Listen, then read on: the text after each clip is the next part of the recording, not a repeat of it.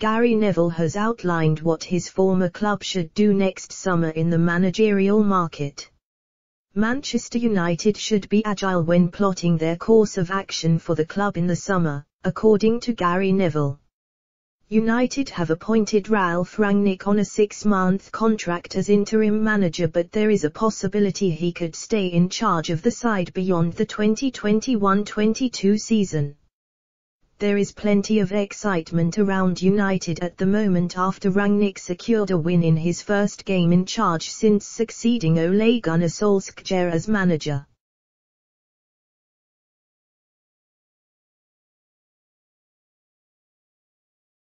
United beat Crystal Palace 1-0 at Old Trafford on Sunday thanks to a second-half goal from Fred as fans got a first glimpse at Rangnick's famous pressing game. The 63-year-old German has been placed in charge of the team until the end of the season, when he is expected to move into a two-year consultancy role however. Rangnick himself has said this is only a framework and that he could stay on for longer as manager, if that is deemed to be the best option.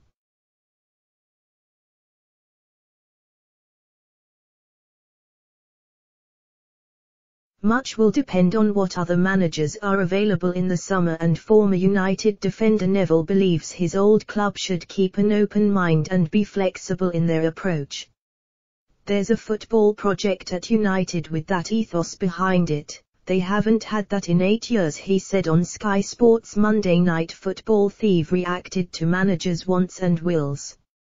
You can't run a football club like that.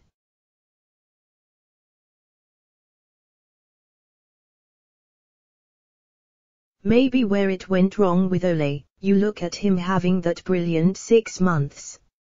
I think it was right to give him the job, but maybe what should have been arranged, and he obviously had a great relationship with the club, and I'm sure Rangnick will build the same relationship with the boardroom because he's consulting beyond these six months let's say there isn't anyone world class available who can lead the club over the next four years and Ralf Rangnick has a good six months.